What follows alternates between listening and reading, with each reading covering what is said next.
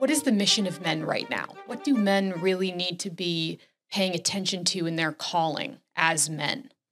I think what I'd want to stress is um, for, for, first of all a distinction, and this was this was shared with me oh second or third hand that someone had made this distinction somewhere. But do I want to be a man or do I want to be a guy?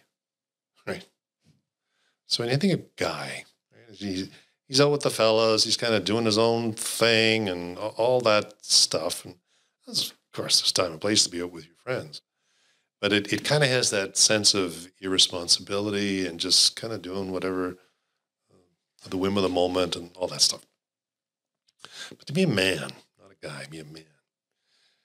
Um, I think of fidelity to duty, fidelity to the other, fidelity to your commitments, and to do so unwaveringly and with strength um, and with respect for the other. Um, we need people to we need everyone.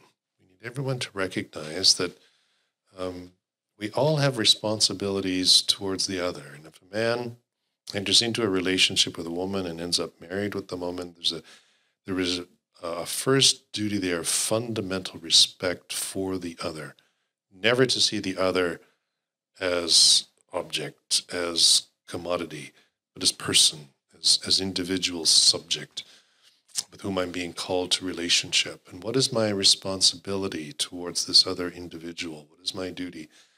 Um, what what virtues am I being called to exercise? You know, within this relationship or within any relationship that I find myself, the, of, of strength, of goodness, respect, and so on. These things. So it's that it's that sense of fidelity to the other and to my responsibility that, that is coming to my mind right now as particularly important. As our culture, broadly speaking, is infested with this radical individualism. And I am my own moral compass. I determine what I want, and I am ruled only by my individual willfulness or my desires. And when that enters into relationships, uh, with, even with a wife or with children. I mean, that's that's poison, right? That that, that destroys the relationship, and it it destroys us from within if we if we um, buy into that.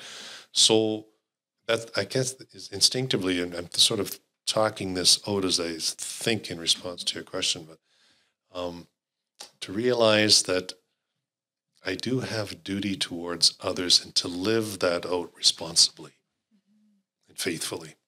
That's what we need why does the world need men? Why does the world need fathers right now? It seems to me that over the last little while there has arisen, in answer to your question, um, this idea that, you know, maybe we don't need men. Maybe we don't need fathers. There seems to be this sense of a dispensability, if I can put it that way, of men or of a, of a man in a, in a family relationship. Sometimes it, it can seem as if the the father just always seems to be kind of de- denigrated or or something. He's kind of like the the silly add-on, you know, in a, whatever the the term is. But it it it just seems that maybe we're not convinced as a culture, or at least the messaging that's getting out there in popular cultures, that maybe we really don't need men or fathers. Um, but we do. And, and where I would locate that need, I think where the church locates it, is in the complementarity of the sexes. Um, we've said this from the outset that God has created the human being male and female, and we see the complementarity in the in the design of the body, even even there, right? So God Himself has made man for woman and woman for man. And if we start to say that either of those is not necessary, um, then actually we're, we're questioning the wisdom and the providence of God in the very way that we have been fashioned. Um, I think also we would know the answer to the question experientially, if in my life, uh, to, to, stick with the with the man and with the father, if the father was absent, if somehow that wasn't part of my growing up, uh, when he go, uh, if I go back to that that concept of the original wound uh, through the, for example, through absence, uh, then then I think we would instinctively become aware over time that yeah, I sure could have used a dad, and so we there's the instinctive natural awareness of the need for a mother and a father uh, in our lives, and we we understand that.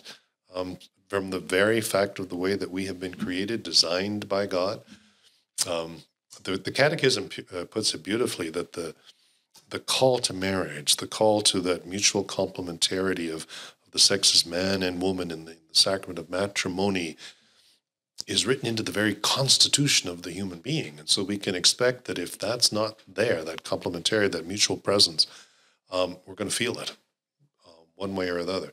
And so I think the need, and to go back to your specific question, the need for men and for the father is is verified just in the pain that's experienced from the absence. So, why then did Mary and Jesus need Joseph?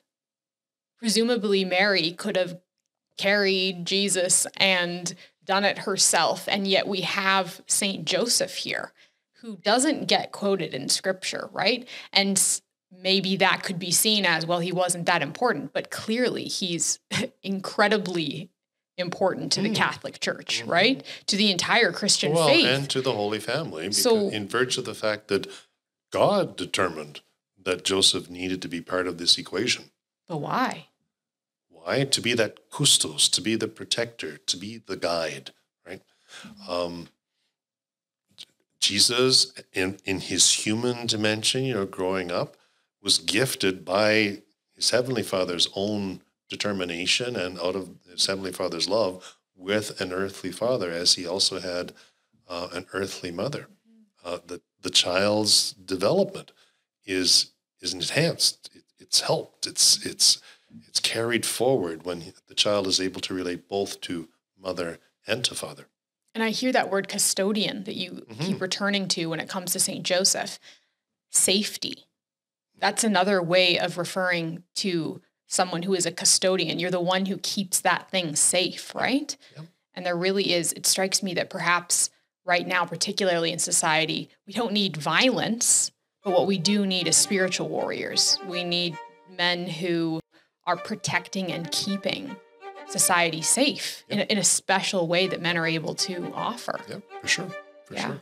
So thanks everybody for watching. Hope you found it helpful along your, your journey of faith, please know that I'm praying for you. And if you would, be so kind as to pray for us also. Every blessing to you. God bless.